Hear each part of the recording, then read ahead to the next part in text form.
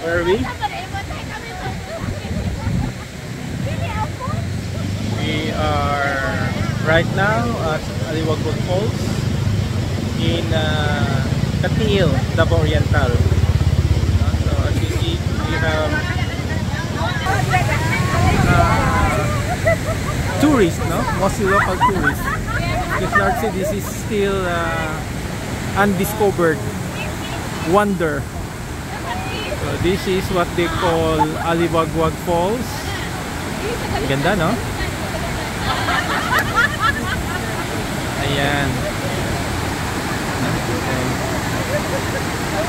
Medyo before, it's difficult to go here because of lack of road infrastructure. So right now, uh, as you can see, no? uh, even yung road network improved talaga significantly. Umahabol yung tourism dito. No? So, yeah, no? We have a lot of tourists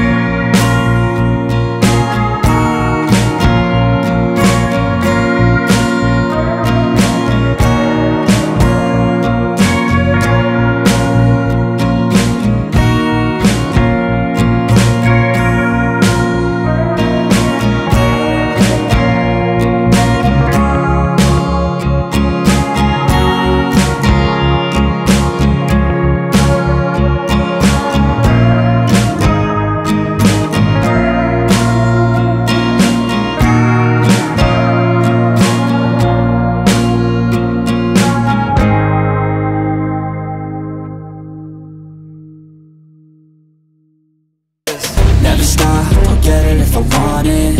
Gotta make to myself a promise. I won't quit, keep going till I got it. I won't give up till I'm on top, yeah. You know I'm always honest. There ain't no way I'm ever stopping. I won't quit, keep going till I got it. I won't give up till I'm on top, yeah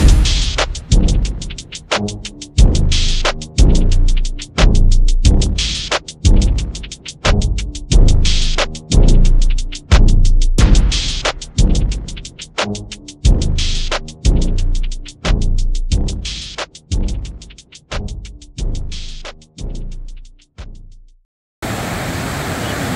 mesmerizing of Ayan yung mga turista natin. Careful lang kung itong ilabas, baka mahulog yung cellphone.